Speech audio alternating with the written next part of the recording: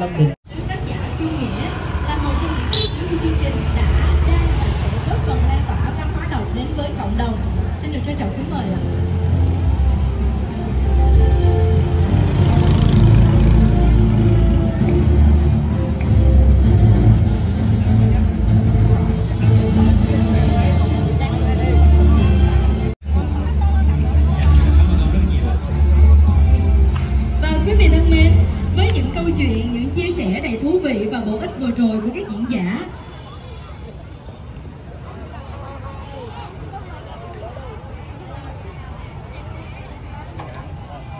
ผู้ที่ขึ้นไปครับผู้ใช้ในของไทยขึ้นมา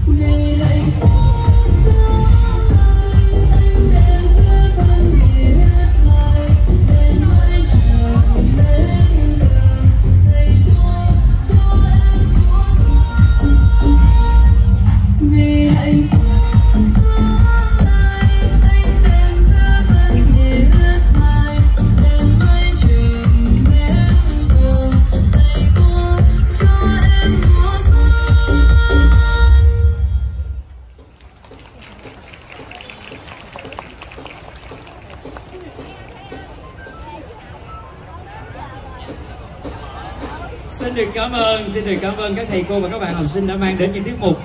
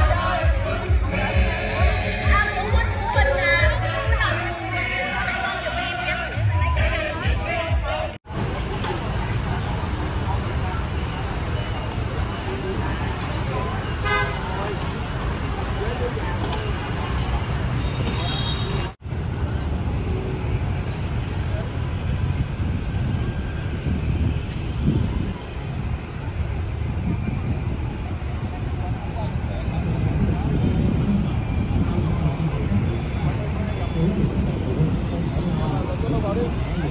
tư vấn cho các em con của các bạn của mình nè rồi à, cái gì quá là không tốt phải không? Mà chúng ta phải có một cái ờ, đường lượng phù hợp chúng ta cân đối thời gian giữa học và đọc truyện tranh để các bạn có thể à, thỏa sức với đam mê của mình cũng như là thỏa ra người trong thời mới. À, thưa quý vị và đến tham dự tọa đàm ngày hôm nay chúng tôi cũng trân trọng được kính giới thiệu sự hiện diện các quý vị đại biểu trân trọng kính giới thiệu sự hiện diện của ông Lâm Đình Thắng thành ủy viên các cấp sở thông tin và truyền thông thành phố Hồ Chí Minh. Trân trọng thiệu sự kiện của ông Nguyễn Bảo Quốc, phó giám đốc sở dục và đào tạo thành phố Hồ Chí Minh.